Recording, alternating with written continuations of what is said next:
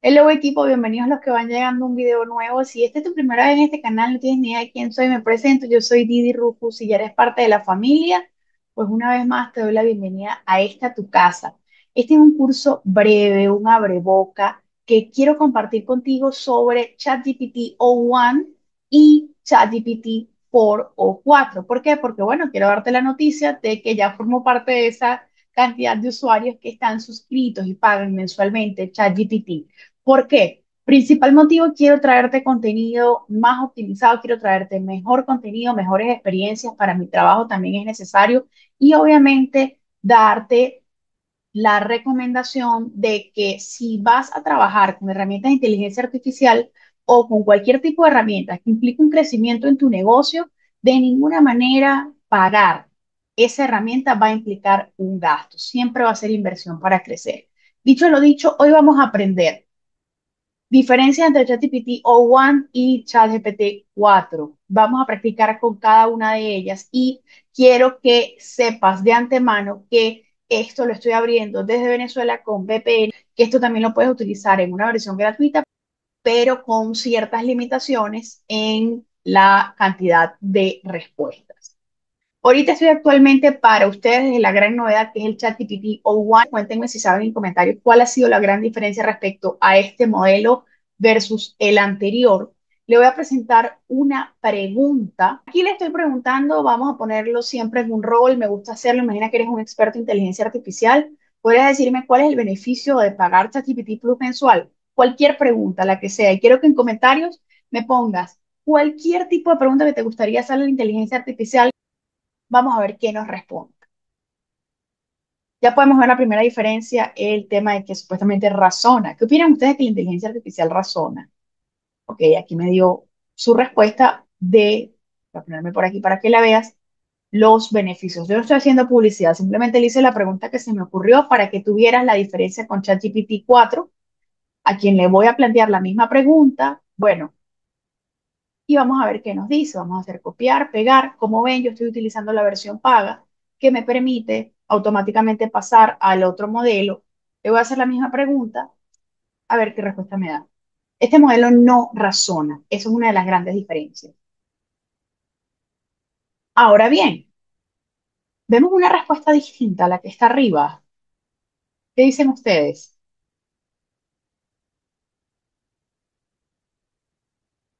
Una respuesta un poco más extensa, tal vez. Esta es una respuesta un poco más concisa. Los leo en comentarios. Miren, por ejemplo, lo que pasa, son algunas de las conversaciones que yo he tenido de todo tipo y tienes también la posibilidad, vámonos otra vez al O1 previo aquí, hay las distintas opciones, modelos adicionales que se pueden utilizar. Yo usualmente estoy trabajando con O1 Preview porque me gusta que las respuestas son un poco más concisas. Algo también súper importante que siempre les digo que no podemos olvidar, retornando aquí, es la manera en cómo le hacemos preguntas. Por ejemplo, siempre me gusta a la herramienta preguntarle cómo le gustaría que yo le hable o decirle cómo podrías ayudarme con eso en base a tu información. Entonces, yo quise decirle lo siguiente, y esto aquí es algo que yo doy en mis clases del máster de inteligencia artificial aplicada de la Escuela de Negocio Europea de Barcelona, que una clase que di sobre narrativa del prompt. Para quienes no saben qué es un prompt, en un curso más básico de inteligencia artificial que está gratis aquí en el canal. Yo aquí le pregunté, ¿cómo puedo crear mi propio GPT, lo que llaman en inglés eh, Custom GPTs, para redactar, esto es algo que enseño muchísimo, mis propios artículos con posicionamiento SEO sobre, un ejemplo, viajes. Vamos a ver qué respuesta nos da.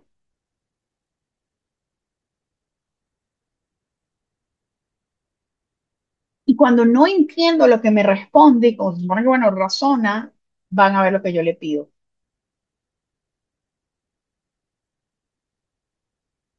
Y me está diciendo el paso a paso, esto lo estoy aprendiendo porque es parte de lo que quiero hacer un, GPT propio, pero bueno, es, es un proceso. Y si no entiendo, miren la, gran pregunta, el gran prompt que yo utilizo que, que me fascina porque me, me ha No entendí, yo le hablo como que si estuviese en una clase. ¿Podrías explicarme como si fuese un niño de 10 años?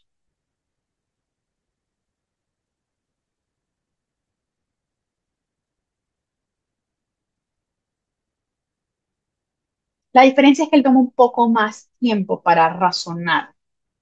Entonces aquí me está dando una clase increíble, me está diciendo lo mismo que me dijo aquí arriba, pero de una manera más sencilla. ¡Boom! ¿Qué pregunta te gustaría hacerle a ChatGPT o1, ChatGPT 4, el que desees utilizar? ¿Y por qué utilizarías uno o el otro? Déjamelo aquí en comentarios. Un paréntesis, quiero que sepas que esto lo puedes descargar ya a tu celular Android o iOS. Me encanta porque yo hago un ejercicio en la aplicación en el celular y es que le hablo por micrófono y me responde o también le mando imágenes y ante esas imágenes me las analiza. Me sucedió algo súper loco.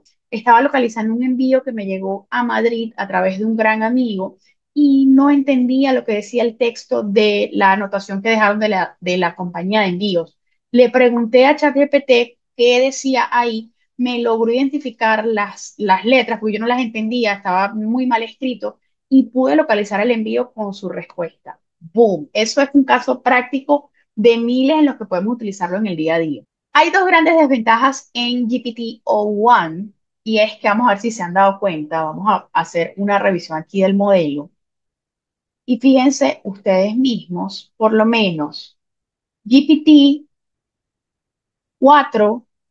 puede procesar imágenes, a diferencia de GPT-o1 no lo puede hacer. Vean ustedes aquí que no está la función. Otra que tampoco me gusta es el tema del acceso a Internet, que con GPT-4 sí puede acceder a Internet y procesar esa cantidad de datos, pero con el O1 no es posible.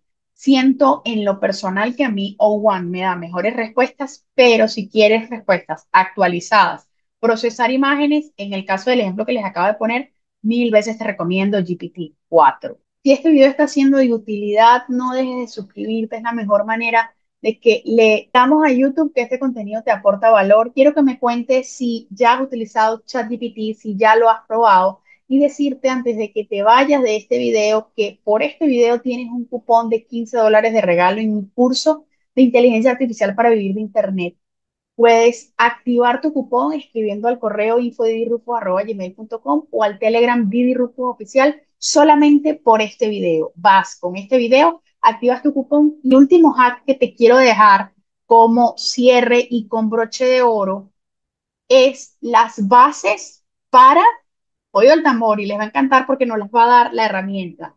Crear un prompt, las bases para comunicarnos con GPT. El punto de partida en inteligencia artificial, siempre se lo digo a mis alumnos, lo comparto con ustedes, es sabernos comunicar. Si tú sabes escribir, si tú te sabes comunicar con las herramientas, tienes un gran porcentaje de la respuesta ganada. ¿Por qué tenemos que sabernos comunicar? Porque estas herramientas vinieron a apoyarnos, a impulsarnos. Son algo que a mí me parece súper positivo siempre y cuando sean ya encausadas y utilizadas por nosotros de buena manera y para cosas positivas. Entonces, lo que más me gusta es que la misma herramienta me diga cómo debo hablarle.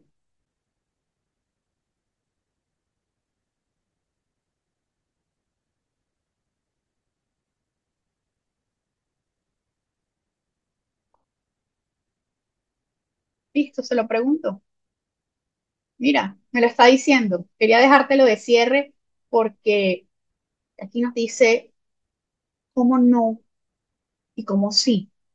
Y yo a esto le agregaría, puedes hacerle que se ponga en un rol, puedes ponerle contexto, puedes hacerle preguntas directas,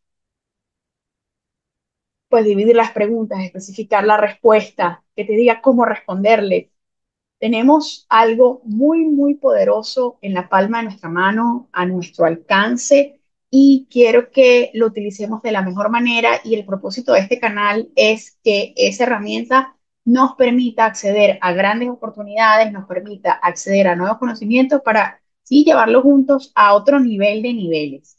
Valoro demasiado que hayas llegado hasta el final de esta mini clase de las actualizaciones de ChatGPT. Cuéntame si tienes dudas. Cuéntame qué más te gustaría aprender de inteligencia artificial aquí en el canal, cómo quisieras enlazarla a tu día a día, si ya lo utilizas, cuál herramienta utilizas y pues decirte que valoro que hayas llegado hasta el final de este video. No olvides que suscribirte es la mejor manera de decirle a YouTube que vamos con todo. Recuerda que te quiero muchísimo, que nos vamos a ver en la próxima.